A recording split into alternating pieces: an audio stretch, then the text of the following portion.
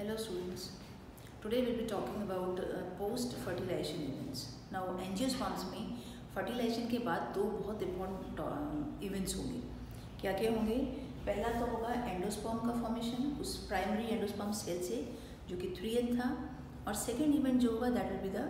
embryo formation from the two N zygote से तो two things and इसमें भी सबसे इंपॉर्टेंट बात ये होगी कि endosperm formation will proceed the embryogenesis now this again a quoted question अगर सपोज़ मैं इस लाइन को सिर्फ़ कोट कर दूँ so that could be it's at forth two to three marks question in exam कि why the endosperm development proceeds the embryo formation admit एलियो कि क्यों ऐसा होता है। एंडोस्पम पहले बनता है एंड एम्ब्रियो बाद में। तो ऐसा इसीलिए हुआ क्योंकि एंडोस्पम को नरिश करना है इससे डेवलपिंग एम्ब्रियो को। तो इसके लिए पहले So that is why the embryo will, uh, will be forming later to the uh, formation of uh, already formed uh, endosperm. Now endosperm पहले बनेगा एम्ब्रियो के बनने से पहले तो देखिए कितने डिफरेंट टाइप से बन सकता है। यहाँ पे तीन डिफरेंट वेज होंगे जिससे कि एंडोस्पर्म का डेवलपमेंट होगा। ना पहला एक तीन कौन कौन से वेज होंगे I tell you free nuclear type cellular type and the third one is called helobial type तो let's start with the free nuclear endosperm development तो ये होता है मोस्ट ऑफ़ द प्लांट्स में, जैसे कि sunflower wheat maize cotton and coconut in fact coconut में जो आपने पानी कोकोनट का वाटर आपने कभी पिया है? So that is nothing but the free nuclear endo free nuclear part of the endosperm only now यही free nuclear means there will be free nuclear division the cells the nuclear will divide but this will not be accompanied by the formation of cell wall so that is what we call as a free nuclear division तो कैसे होगा ये process ये देखो primary endosperm cell जो था that was having all the three N nuclei इसमें mitosis होगा nuclei will keep on nucleus will keep on dividing into many nuclei and each nuclei will again further divide and there be many nuclei and that will the liquid form जैसे कि coconut के पानी में आपने देखा that way now this is what we say is a free nuclear type and this the most common one let's see the next type that is the cellular type ना cellular type is the second type और इसमें क्या होगा, जो पहले free nuclear division हुआ था, उन्हीं में towards periphery of the embryo sac there will be cell wall formation and slowly all this nuclear will be covered with the cytoplasmic covering and there be forming the cells so it will be free nuclear first but later on these cells will be this nuclear will be covered with the cell wall and there be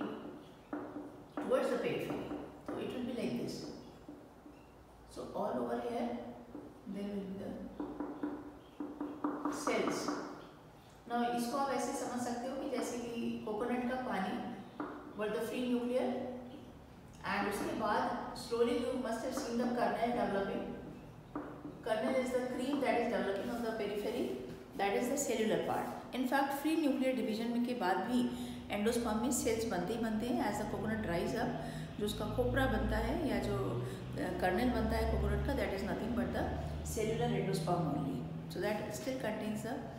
stored food and uh, but that is in the dried form. So that is the second type if the cells are being cell wall is being laid. And this happens in uh, some plants like petunia and datura. As in petunia and datura. Datura and ossia then the third type is called the helobial type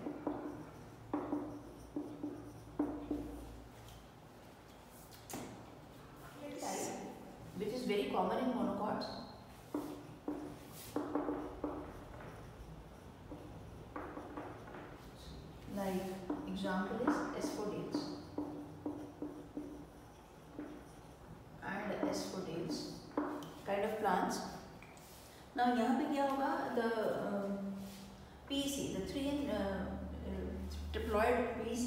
primary endosperm cell will first divide into two cells. ध्यान दो इसको। एक छोटा cell बनेगा और एक बड़ा cell बनेगा। The smaller cell will be towards the chalaza and the bigger cell will be form towards the micropyle mind this there be the first division will be cellular but that will be unequal तो यहाँ पे क्या हुआ? First division is unequal तो यहाँ पे two cells smaller towards the chalaza bigger towards the micropyle Are formed. Now there is a question here why the bigger one is towards the micropyle, towards the uh, zygote, the bigger cell will be formed. And this will be, देखो further इसमें अब क्या होगा? Next will be that there will be free nuclear division here, bigger cell में. This is the bigger cell and the smaller cell. And there will be free nuclear division first and then उसके बाद followed by cellular cell wall formation तो क्या हुआ फिर से देखें? फिर से बताती हूँ आपको। सो इन हेलोबियल टाइप जो कि कॉमन है मोनोकॉट्स में और अनदर प्लांट है गैस्फोडियल्स इनमें क्या होगा? The primary endosperm cell will divide into two एक छोटा सेल बनेगा, एक बड़ा cell mitotic division will be unequal the smaller cell will be towards the chalaza and the bigger will be towards the micropyle I ask you the question why why the bigger is always towards the micropyle so answer इसका ये होगा कि micropyle की तरफ़ जो बड़ा cell बना है this will be further multiplying and forming the endosperm and this will be of no significance now why this is developing into endosperm not this because this is near the developing embryo. This will be nearer the developing embryo and it has to nourish the developing embryo. So this will be nearer to the uh, zygote. So that cell will be now developing into the endosperm like the free nuclear and the cellular type only let's see the embryo development now once the endosperm is fully formed, now the embryo will or at least not fully formed, it, it has already proceeded, then only the embryo formation will be occurring. Now embryo किस तरफ़ था micropyle की तरफ़ तो अभी से वापस अब देखो कैसे होगा एम्ब्रियो का फॉर्मेशन नाउ ये देखो डायग्राम मैंने फिर से एम्ब्रियो स्टैक बनाया है इसमें मैंने पीईसी सेल और जाइगोट सेल देखो, मैंने माइक्रोपाइल इस तरह बनाया आपकी बार because I want the I want to show you that the embryo will be hanging within the endosperm this will be push towards the endosperm so that it will be nourished तो इसीलिए मैं थोड़ा सा उल्टा करके बना रही हूँ, ताकि आपको दिखाई दे कि वो एम्ब्रियो कैसे एंडोस्पर्म के अंदर पेनिट्रेट करेगा। So suppose the zygote is there on the micropylar end now this will be first division will be again happening by mitosis and there be two cells form एक cell बनेगा towards the micropyle एक towards the chalaza Now the one towards the micropyle will not be further dividing mind this this will not further divide not divide further. So what, which one will divide? The one towards the chalaza. That will keep on multiplying by mitosis and this will be forming a suspensor. वो एक suspensor बनाएगा और एक globular embryo globular means एक गोल embryo बना देगा now later to this this will keep on becoming mature and this uh, globular will turn into a heart shaped embryo. The shape is keeping on changing and finally this become a mature embryo suppose it is a dicot plant dicot embryo तो यहाँ पे दो cotyledons भी देखने को मिलेंगे suppose it would have been a monocot plant तो यहाँ पे सिर्फ़ एक मोनोकॉट एक सिंगल कॉटलेडन आपको देखने को मिलता है ये देखो one that was towards the micropyle the cell is not dividing वो ऐसे ही रहा और इस एम्ब्रियो को जानबूझ के चलाजा की तरफ़ बनाया गया ताकि यहाँ पे जो प्राइमरी एंडोस्पॉम सेल है which will be forming the endosperm this embryo will be penetrated into that so that it can be nourished so that it can derive the nutrition तो सस्पेंशन का रोल क्या होगा? This will suspend the embryo into the endosperm so finally देखिए कैसा बनता है एक um, dicot का एम्ब्रियो कैसा दिखेगा? It will be having two confidence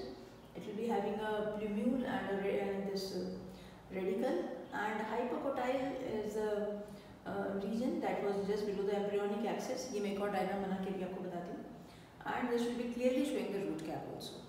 so ऐसे बनेगा हमारा embryo तो तीन चार stages बनती हैं पहले pro embryo फिर globular embryo फिर heart shape embryo and then there is a mature embryo and suppose this comes for three marks or two marks in the boards so you have to draw all the diagrams or there could be the uh, PMT question and they may ask you the sequence of development of embryo कि पहले कौन बनता है बाद में कौन या they may ask you कि which side of the cell will be dividing further which cell will not divide what will be the sequence of the globular ये इनका किसी का sequence पूछ लिया ऐसे question आपके PMT question हो सकते हैं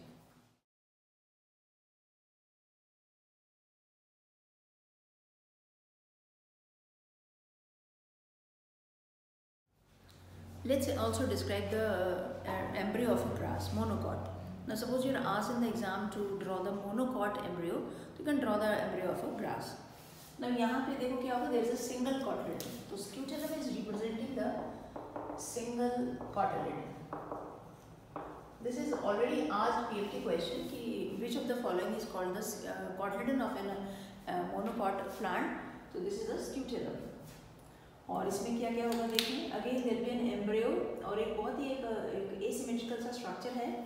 There be shoot apex the root apex root apex will have always a cover root cap and the coverings the protective coverings are called coleorhiza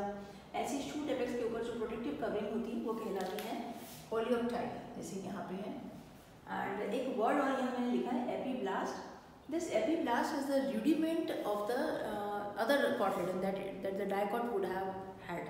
you know कि monocots are more evolve than the dicots तो monocots जब dicot से evolve हुए तो उनका एक coordinate खत्म हो गया। और वो जो खत्म हो गया, उसका निशान, उसका अवशेष देखो, ये एपीब्लास्ट होता है। So that's what we say is a epiblast now how this whole structure looks like because there be certain terms I be continuously using जैसे कि लास्ट एक वाले डायग्राम में था कि हाइपोकोटाइल एपीकोटाइल एम्ब्रियोनल एक्सिस तो लेट मी ड्रॉ दैट एक simple सा डायग्राम आपको बना के दिखाती हूँ कि एग्जैक्टली होता कैसे suppose this is the embryo तो ये अगर इसका एम्ब्रियोनल एक्सिस है, और suppose this is the cotyledon suppose this is the plumule and this is the radicle अगर एक सिंपल सा आप एम्ब्रियो लेते हैं तो this is what we call as the embryonal axis ये वो एक्सिस ये वो पॉइंट है जहाँ पे ये अटैच होता है दो कॉटिलेडन्स के साथ. ना प्लूम्यूल के ऊपर कुछ प्रोटेक्टिव कवरिंग्स होंगी and this coverings are called coleoptile ऐसी रेडिकल के ऊपर भी कवरिंग्स होंगी जो कहलाएँगे coleorhiza whenever i say this word rhiza this has something to do with the roots now uh, embryonal axis के नीचे का पोर्शन कहलाता है hypocotyl which ends in radical and the embryonal axis के ऊपर का हिस्सा कहलाता है epicotyl this ends up in plumule so so, एक अगर मैं एक हाइपोथेटिकल स्ट्रक्चर बनाऊँ किसी भी एम्ब्रियो का तो वो कुछ ऐसा दिखना चाहिए। क्या क्या होना चाहिए उसमें? एक एम्ब्रियोनल एक्सिस जहाँ से वो कॉन्फिडेंस के साथ जुड़ा है। देन एम्ब्रियोनल एक्सिस के ऊपर का हिस्सा which ends up is called the epicotyl देखो वर्ड एपी मींस ऊपर अप या अपर हाइपो मींस बिलो या lower side then rhiza this word if it is written somewhere rhizobium rhizome rhizoid oleorhiza rhiza means root related something related with the roots so as a coleoptile is the protective covering over the plumule and the protective covering over the radicle is called the coleorhiza so let me give you the meanings of all these uh, definitions of all these stuffs इनकी definition एक बार देख लो so then things will be very clear ये एक hypothetical स्ट्रक्चर मैंने बनाया है किसी भी एक एम्ब्रियो का ठीक है so let me give you the definitions of all that Now this is the embryo of a grass. So let me give you definitions of various words. Like the first word is epicotyle. Epi means ऊपर, cotyle is cotyledon axis के, embryonal axis के ऊपर का. तो it is a portion of embryonal axis above the level of cotyledons. And this terminates in plumule. देखो diagram में, जहाँ embryonal axis है, उसके ऊपर का हिस्सा और एंड होता है ये प्लूम्यूल में। और उसके नीचे का हिस्सा क्या लाएगा? Hypocotyl this ends up in radicle and what is coleoptile it is the protective covering over the plumule and what is coleorhiza this is the protective covering over the radicle Then there was that word epiblast. Epiblast is the rudiment of second cotyledon in monocots. So these are the certain terms that you need to know the definitions of.